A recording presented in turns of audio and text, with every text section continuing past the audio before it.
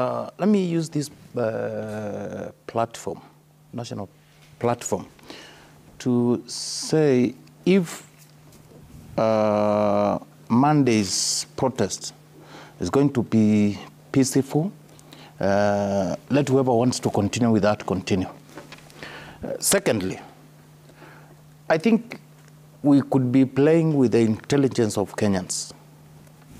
Why am I saying so? The budget that is being used currently by the current government was done by previous government. Uh, these two good senators here, a very experienced one, and uh, uh, and uh, Edwin Sifuna, and I'm sorry, he seems not to believe in uh, in prayers. The, I'm sorry about that. He, is even questioning the wisdom of even going to church on a Monday. He doesn't realize, uh, as a Catholic, there is mass in the morning, at lunchtime, and even in the evening. It's very unfortunate for him to made that statement. Uh, tell me, the, today as we sit here, uh, we know Kenyan protests, how they have been.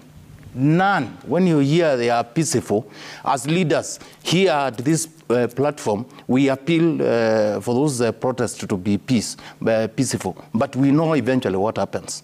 And we have history, what has been happening, including the days of agitation of change of Section 2A. How many Kenyans died? How many people today enjoying those rights followed those families to know what happened? So in this case, when, uh, when, uh, when I say leaders should discuss, uh, nobody should mistake me to say somebody will discuss about uh, nusu mkate, government, or somebody joining government. Far from it.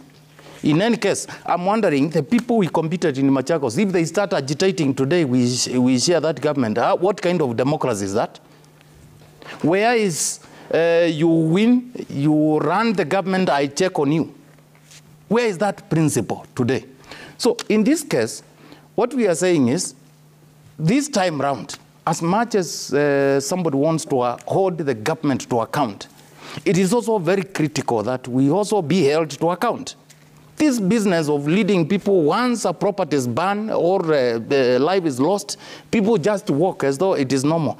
Things should not continue that way. And there is a reason I'm saying so, uh, uh, Trevor. If any time during elections, we have seen so many, so many uh, economic leaders take a capital flight from this country. Why? They are not sure of the outcome of, uh, of the election, whether there will be peace or there will be these street protests. We are losing as a country. The people who are being brought on Monday are the, mostly the population, the, unem- uh, the unemployed population who are suffering out there. Some of us are taking advantage of that. Let's be very open here. And that will not create uh, opportunities for those uh, young people who will be moving up and down.